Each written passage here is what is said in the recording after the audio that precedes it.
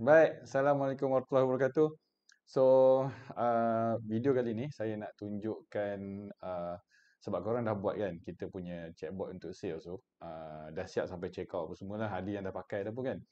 So, saya just nak tunjuk dah ada satu cara lagi kalau katalah kita nak sebab ada orang tanya dia nak dia tak ada pun online payment. Uh, dia tak pakai pun online payment. Dia ada COD saja ataupun dia memang jenis yang memang nak collect payment tu uh, dia nak suruh customer yang bank in. Uh, dia bagi nombor account customer bank in. Pun boleh juga. So yang sebelum ni yang kita buat kita ada COD dengan online payment. Betul? So yang saya nak tunjuk ni adalah macam mana kita nak gunakan fully e-commerce tu punya sistem. Kalau kita tak perlukan uh, orang kata apa uh, online payment tu lah. Uh, sebab yang full e-commerce yang saya nak tunjuk ni dia ada online payment juga. Tapi dia menggunakan uh, Stripe. Uh, sebab ada yang tanya pasal Stripe sebab dia orang nak menjual di luar negara. Sebab Pay ni dia tak boleh collect uh, payment daripada luar negara.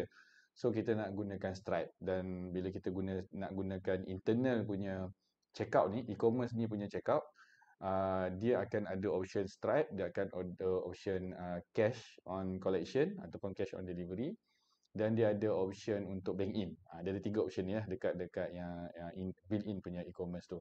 Yang kita buat itu hari, checkout yang kita buat itu hari adalah custom checkout. Kita buat sendiri checkout untuk COD dengan ToyPay. So untuk yang ni, cara dia, uh, maksudnya kita boleh tambah lah. Kalau kita nak tambah ataupun kita nak ubah, itu pulang pada kita lah. So saya nak tunjukkan sekejap, saya tukar saya punya kamera. So bila kita login dekat Padu, kan bila kita login dekat Padu, So kita akan dapat kat kita punya dashboard lah. Kita login kan. So saya kena tunjuk daripada dashboard ni. Takut ada yang uh, sesat kan. So dekat daripada, daripada dashboard ni scroll ke kiri ada satu e-commerce. Ni benda yang kita kena set up dulu. Sebelum kita boleh guna yang internal punya checkout tu. Pergi kat e-commerce. Ada option setting. Dia ada produk apa semua kan. Dan ada option setting. Dekat option setting ni yang paling penting untuk menggunakan uh, checkout ni adalah di bawah ni. Kita ada satu payment method ni kan. So payment method ni kita boleh pilih ada banyak kat sini. So first kali uh, kita ada COD, kita boleh ambil COD. Ini cash on uh, delivery ataupun cash on collection lah. And then kita nak pakai Stripe, kita ada kat sini, credit card, Stripe. Uh, Stripe credit card ni maksudnya debit card pun boleh lah. Tapi charges dia sama. Debit card dengan credit card, charges dia sama. And then satu lagi adalah bank transfer. Yang PayPal, WeChat Pay, Alipay ni kalau ada korang boleh lah integrate. Kalau ada lah. Tapi WeChat Pay ni tak ramai orang ada, Alipay lagi lah tak ramai kan. So PayPal jangan. janganlah kalau boleh janganlah guna PayPal, pening nanti. Alright, so bila kita dah set up kan kita punya payment method ni, kita make sure kita punya currency kita adalah Malaysian Ringgit, which is sepatutnya kita dah set up dah sebelum ni. Yang ni adalah bank information. Kalau kita ambil yang bank transfer ni, so kita nak bagi tahu lah orang. So kita punya bank, kita nama kita, kan, kita letak sini, kita punya nama company ataupun nama kita. So nombor bank kita contoh, apa tu nombor account lah. Kan. So kita boleh bagi dia maklumat kat sini sila bank in di account account account di bawah. Ha, kan. Right. So itu and then tekan save eh. jangan lupa tekan save. Okey, settle dekat setting kat sini. Bila kita dah setting kat sini, baru kita boleh masuk dalam kita punya bot, all bot, bot yang kita dah buat itu tadi. Okey, kita cari flow checkout. Ha, kita nak ubah kat flow checkout je. Flow lain kita tak kacau. Flow checkout saja sebab dia untuk melibatkan bayaran kan. So flow checkout, tekan edit flow dulu macam biasa. Right. Kita zoom dekat bahagian dia punya yang hujung ni. Ha, yang dia punya summary ni, kos penghantaran bla bla bla semua ni ada harga semua. Dekat sini adalah uh, di persimpangan untuk orang bayar online. Ini ToyPay yang kita dah buat sebelum ni. Uh, ni COD untuk yang kita yang ni custom checkout lah semua ni. And then ni kalau dia nak cancel order tu. So untuk kita uh, checkout menggunakan internal punya ni kita boleh saya tambah kat sini eh. So kalau kata korang nak nak ubah just ubah dekat button atas ni. Ha, button ni bayar online ni. Kalau nak ubah lah uh, COD ni tak perlu. So kalau kata nak ubah tak nak pakai ToyPay nak pakai Stripe semua sekali kan contoh. So kat sini Uh, ni saya tunjuk contoh lah kalau kita nak tambah option. So kat sini atau saya boleh buat option atau boleh guna stripe. Uh, so kita letak sini lah. Atau boleh guna credit card. Credit card. Sebab uh, debit atau credit card. Sebab untuk yang Tori Pay yang itu hari yang kita set up tu dia dia depend pada kita punya account. Kalau kita enablekan debit credit, kita bolehlah collect debit credit. Tapi by default semua orang dia hanya enable untuk online online transfer saja kan. Uh, online banking saja ya, yang online Tori Pay. So kita nak bagi juga orang buat kredit ke debit ataupun uh, orang kata apa luar negara punya payment, kita letak satu button yang saya keluarkan satu teks. So basically apa yang akan berlaku?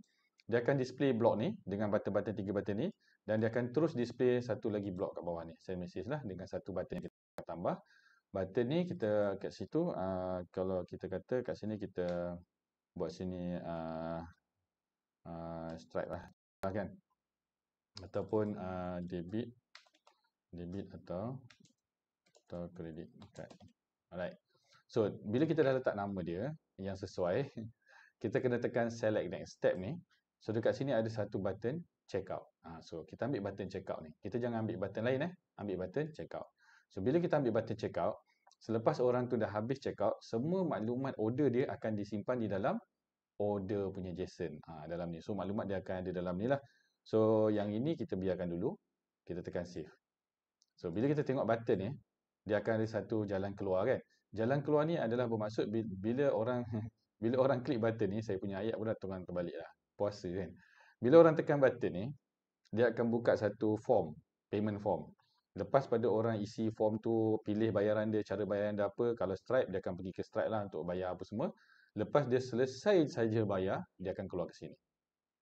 Okey, selesai saja bayar, dia akan keluar ke sini. So, kita boleh buatlah, buatlah ayat macam, okey, bayaran telah diterima. Okay, thank you. Bayaran telah diterima. Okay kan? So, basically dia punya function dia adalah lepas pada orang tu berjaya buat bayaran, kalau kita enable debit and credit card, dia akan keluar kat sini lah. Kalau dia buat bank in payment pun, dia akan keluar kat sini. Kalau dia buat COD punya selection pun, dia akan keluar kat sini.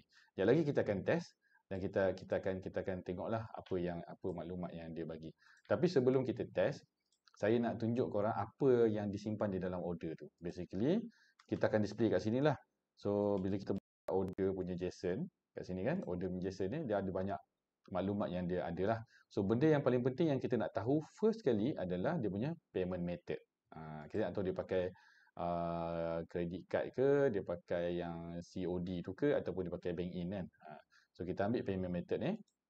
So kat sini saya letak kat depan ni method. Okay.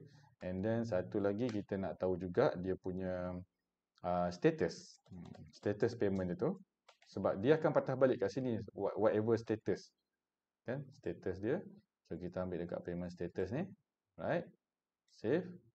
And then seterusnya kita nak dia punya time lah. Payment time dia. Ha, yang ni benda penting yang kita nak uh, payment add ni. Okay. kalau nak reference number ke apa benda semua ni kita boleh ambil lah. Currency kita boleh check. Anything uh, information about the order ada dalam ni lah. Kita boleh kita boleh ambil dan kita boleh check. So saya tunjuk dulu macam mana kita nak uh, dia macam mana benda ni berfungsi dan apa benda maklumat yang dia bawa lah. Okay, kita tekan publish. Okay, sebelum kita test, sebab kita tak setting lagi kita punya Stripe ni. Kita hanya setting tadi. Ini kita punya bot dah ready. Kita punya e-commerce dah ready. Kan tadi kita setting kat e-commerce kan. Untuk Stripe, kita kena pergi dekat integration kat bahagian integration ni belah kiri ni ada Stripe. Okay, klik dekat Stripe ni, make sure kita linkkan dengan kita punya Stripe lah. Uh, contoh kan, saya disconnect dulu. So, nak linkkan kita punya Stripe dari satu button ni, connect connect Stripe account. Once kita dah klik connect Stripe account ni, dia akan buka Stripe punya login, uh, everything semua tu. So, kita pilih lah which one yang kita punya Stripe account. So, kita klik connect. Uh, make sure kita dah ada Stripe account eh. Nak buka Stripe account tu kena pergi ke stripe.com. Uh, apa tu register apa semua akan dapatlah satu Stripe account. So yang ni saya dah connect. So saya tak nak dia live mode, saya nak dia test mode sebab kita nak test dulu kan. Kita tekan live mode ni. Yes, dia akan jadi test mode. So nanti bila kita dah habis test semua, bila kita dah ready nak deploy dekat public ataupun untuk bagi orang beli yang dengan betul, kita tukar jadi live eh. So sekarang ni saya biar dia test mode dulu kita petah balik ke kita punya bot tadi tu yang flow checkout tadi uh, okay checkout flow alright so dekat sini yang kita dah buat tadi kan so kita nak test lah kita punya bot so kita nak test kita punya bot uh, kita preview daripada awal lah sebab benda ni ada flow dia kan kita pergi kat main flow Dan kita tekan preview sini, kita pergi ke uh, web browser lah. Alright, so nanti dia akan buka widget kat bawah ni. Kita nak test ni. Okay, ini kita punya welcome message. So, ni kita punya welcome uh, welcome message lah. And then, uh, saya nak tengok offer apa. So, nanti dia akan keluar offer. Saya nak yang ni. Okay, dah masuk dalam shopping cart. Saya nak check out. So, check out dia akan keluar kita punya summary. Kita punya option untuk bayar kan. Yang ni Toypay Pay yang kita dah buat sebelum ni. Yang ni COD yang kita dah buat. Yang ni kalau dia nak batal order. So, dua-dua ni adalah custom checkout. Kita tak gunakan internal. Yang bawah ni button ni internal. Sebab kita guna button checkout tadi kan. So, bila saya klik, dia akan keluar dia punya checkout form. Ah, yang ni memang internal, padu punya. So, just masukkan nama uh, saya, orang. Contoh kan, email dia. So, nombor phone dia, dia akan minta. And then, uh, dia punya note, kalau apa-apa note. And then, kat sini, kita boleh pilih lah. Orang, uh, customer boleh pilih. Kad ni, boleh guna debit atau credit card. Cash on pick up ni is a, macam COD. And then, bank transfer ni, dia akan dapat lah maklumat ni untuk dia buat uh, transfer. Okay. Saya tunjuk yang kad dulu. So, untuk kad ni, kat mana yang kita nak dapatkan nombor test. Sebab tadi kan kita dah buat kita punya TOEIC tu untuk test kan. So kita kena cari tempat kat mana kita nak dapatkan dia punya test tu adalah di uh, saya buka website eh tadi saya cari lah ni. Okey. Korang cari ke ni. Ada ada link ni. Uh, stripe.com Okey, yang ni saya akan copy dan kita akan letaklah dalam kita punya description video ni nanti. So ada ada dia punya URL dia ni stripe.com slash docs slash testing. So dekat dalam ni korang boleh nampak semua senarai kad-kad yang kita boleh test. Visa, Visa debit, Mastercard, Mastercard series apa semua. Semua nombor-nombor ni adalah nombor-nombor testing kan. So katakanlah kita nak Visa lah. So just copy je nombor ni. Visa. Kita balik kat kita punya bot tadi tu. Nak check out kan. Kita paste nombor yang testing tadi tu. Uh, month year CVC ni kita buat tapi untuk yang month ni, make sure dia adalah date yang akan datang lah. So, saya buat bulan 5 tahun depan. CVC ni letak je apa-apa nombor. Janji 3 digit. So, kita tekan pay ni. Nanti dia akan, ah, okay, payment successful. So, dia akan patah balik ke bot dan dia akan beritahu. Okay, thank you. Bayaran telah diterima. So, kita tahu method dia adalah Visa. Payment dia sukses. Dan time payment dia adalah sekian-sekian. So, yang ini maklumat yang penting lah. So, saya nak test sekali lagi untuk tunjuk apa beza method ni sebab kita perlukan perbezaan ni untuk kita buat dia punya condition kalau tidak sebab dia keluar tempat yang sama eh. ingat dia keluar benang yang sama kan so kita try pakai uh, orang kata COD pula dekat sini kan. Okey nak yang ini. Okey check out terus. Okey kita klik button ni. Kita ambil COD pula. Okay. test lagi. Yang ni lah. Ni ini adalah COD lah. Cash on pickup. So dia bayar, dia akan tulis order place. So dia akan keluar juga ayat macam ni. Thank you, bayaran telah terima, cash. So dia ada kataan cash kat situ kan. So maksudnya kita tahu kalau cash, method cash adalah COD. Kalau method dia yang tadi tu, yang kita dapat tadi tu, mana dia? Uh, sekejap, mana dia tadi tu? Uh, hilang dah. Atas lagi eh. Ha, kalau method yang tadi, kita dapat Visa. Kalau COD, dia dapat cash. Okay, kita buat satu lagi untuk yang bank tu. Sebab kita nak tahu apakah method dia supaya kita boleh buat kita punya uh, condition. Uh, condition tu penting. Okay, eh, kita try. Untuk bank. Okay, bank transfer. Kita dapat arahan ni. Kita place order. Eh, sorry. Nama. Uh, test. Test bank transfer. Okay. Right. So, dia pun mention order please. Dia bukan payment succeed eh. So, okay. Thank you. Barang telah terima. Method dia adalah bank. So, kita tahu sekarang ni kalau orang ambil COD, dia adalah cash. Nampak kat sini. Kalau dia ambil online, uh, apa ni, transfer, bank transfer, dia adalah bank. So, status dia dua-dua tak ada kalau perasan. Status dia dua-dua kosong. Yang ni status dia. Uh, yang online banking tadi, status dia succeed. So, dia ada banyak cara untuk kita kita check lah. So, first kali kita nak tahu dia pakai method apa ha, payment method apa. So kita patah balik kat kita punya bot. Kita pergi kat flow checkout kita. Ha, ni checkout ni. Okay, kita edit flow ni. Alright. Okay, sebelum kita keluar, okay, bayaran diterima ni, kita kena check dulu. Okay, saya akan buat satu condition. Okay, sebelum kita nak boleh buat condition tu, sebab ini benda ni dalam uh, dalam JSON kan. So dalam JSON ni kita tak boleh nak buat comparison, kita tak boleh buat condition. Kita kena simpan dulu dalam variable. So first kali yang kita kena buat adalah kita kena buat dia punya payment method punya variable lah. Set variable value. So kat sini kita tak boleh nak create uh, apa uh, custom value yang baru. So kita pergi dekat content, user field, new user field, kita buat kat sini pay method. Uh, contoh. Okay, save. Lepas tu kita buat satu lagi pay status. Okay, text. And then satu lagi kita buat pay uh, time. Kan? Okay, nak text boleh, nak buat date time boleh. Tapi saya rasa sebab kita kena tengok dia punya format tu sama ada uh, ni format date and time. Okay, boleh. So, kita boleh pakai lah uh, date and time kat sini. Okay. Save. So, kita pergi balik kat sini. First kali kita kena set uh, pay method kan. Pay method dia adalah daripada order JSON tadi kita ambil method. Mana method? Payment method. Okey so yang save. Lepas tu kita buat satu lagi. Set variable value. Okey and then kita boleh uh, pay status. So kita ambil daripada order juga. Pay status. Eh sorry.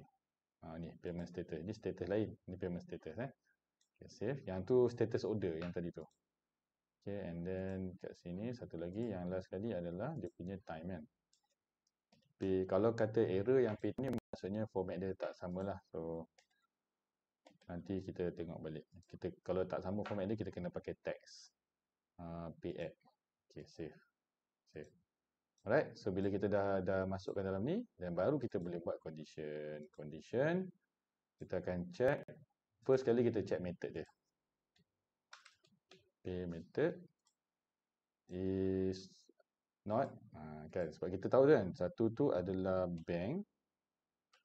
Kan? Bank. Satu lagi kita letak lagi condition.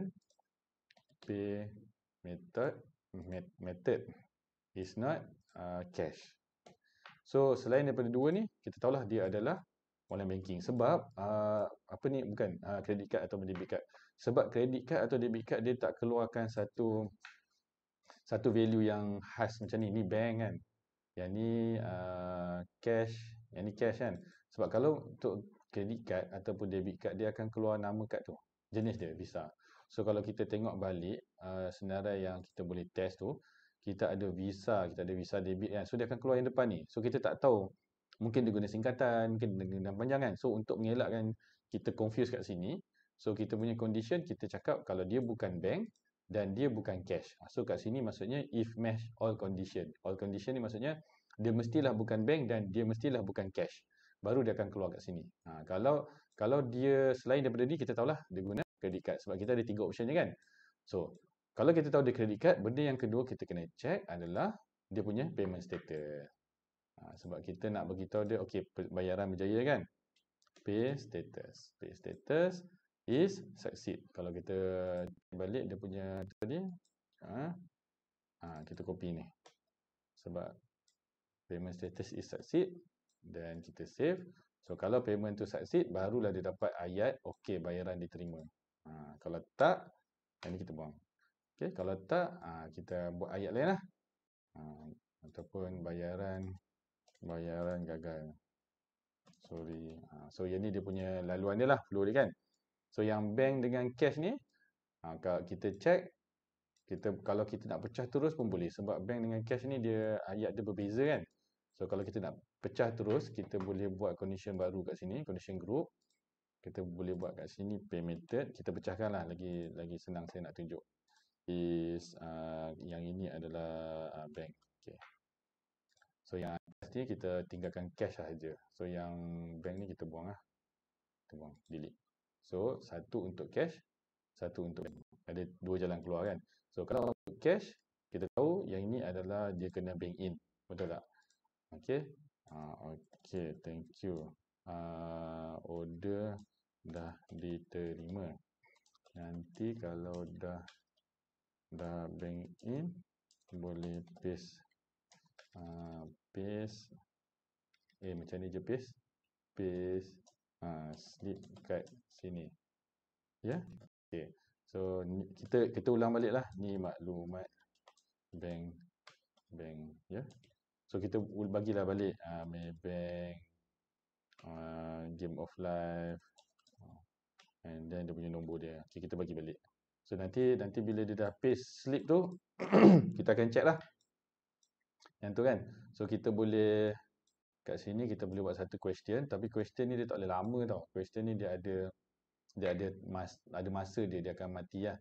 So kita boleh letak je. Yang ni nanti saya akan ada video lain. Macam mana kita nak handle payment manual macam ni. Ha, ada video lain nanti saya akan buat lah. But this on dalam video ni saya nak tunjuk dia punya laluan dia kalau kita nak menggunakan yang built-in punya checkout. So untuk bank kita tahu yang ini adalah uh, oh sorry sorry terbalik terbalik.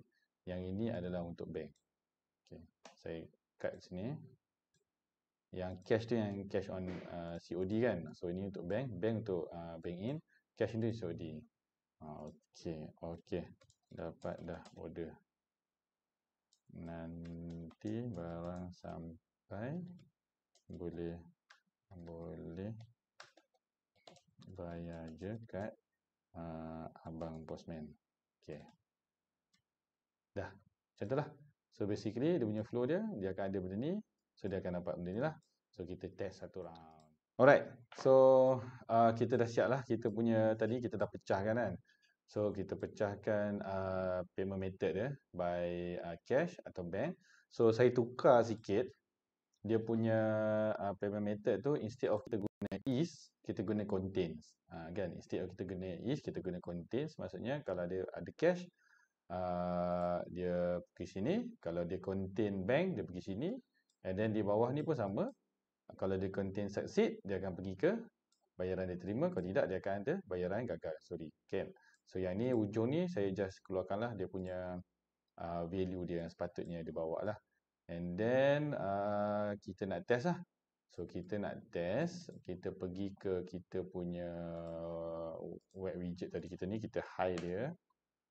Macam biasa, apa offer. Nak yang ni, nak check out terus. Yang ini, so kita ambil debit credit card. Kita bubuh jelas nama sesiapa kan. TT tu adalah TikTok. So, kita carilah nombor yang tadi tu. Nombor H2 05 8 sorry 25 23 okay pay so payment successful and then dia akan okay thank you. Bayaran telah diterima. So ini maklumat yang dia dapat lah so kita try lah pula kita kalau kita buat uh, apa bank in kan bank in. Okay, kita buat bank in check out terus. So kita ambil option bubuh nama dia YY pula. Kita bank transfer bla bla bla. Place order. Order place. So dia akan patah balik dekat board dia akan beritahu lah. Ok thank you. Order sudah terima. So dengan cara kita buat macam ni kita boleh menggunakan integrated punya uh, apa kata apa uh, check out integrated punya check out kejap ah ha? tukar kamera kita